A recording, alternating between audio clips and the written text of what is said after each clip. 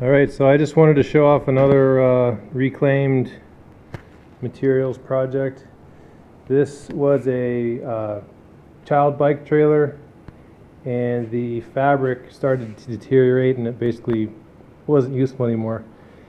But the, uh, the frame was still perfectly fine. Um, so I took it apart, and I found out that this old uh, concrete mixing tub just like it just lays right in there. It lays right in the rail. It's not even attached.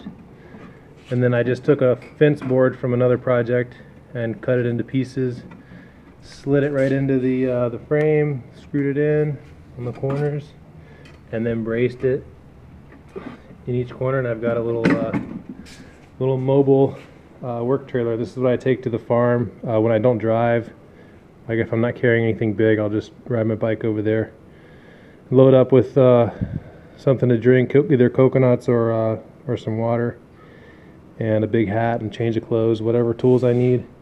Um, and then we bought another one because we still we still want a bike trailer.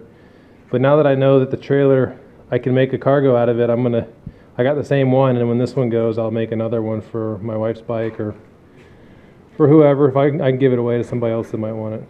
So anyway, that's another little quick project.